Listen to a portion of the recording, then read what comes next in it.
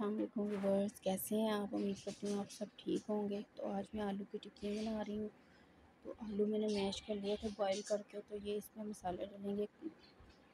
ثابت دھنیا، زیرہ تھوڑی سی اجوائن کٹی ہوئی مرچیں اور نمک۔ ہے یہ ڈال دیں گے۔ اس کے بعد دھنیا، ہری مرچیں اور پیاز کٹا ہوا یہ ڈال دیں گے۔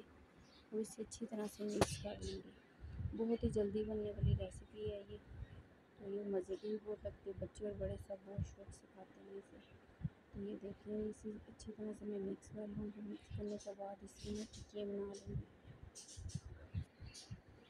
تو اگر میرے آپ اگر میرے چینل پہ نئے ہیں تو جلدی سے مجھے سبسکرائب کر لیں۔ تو یہ دیکھیں، اچھی طرح سے مکس کر لیں اب اس میں ٹکیاں بنا لوں گی۔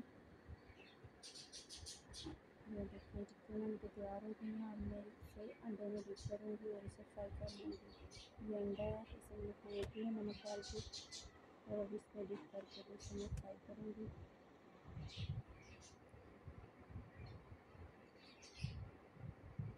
تو اس طرح سے کوٹ کریں گے انڈے کا اور اسے آئل میں نے گرم کرنے کے لیے رکھ دیا تھا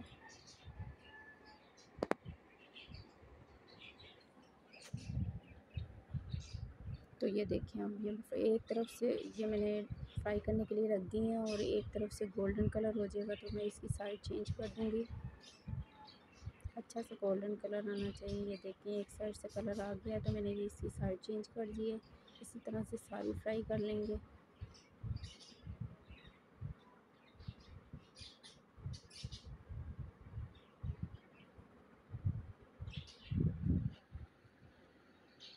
یہ دیکھیں بہت سا پیارا سا کلر آ گیا۔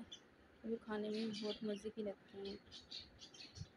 تو یہ دیکھیں چکی ہماری ساری تیار ہو ہو گئی ہیں۔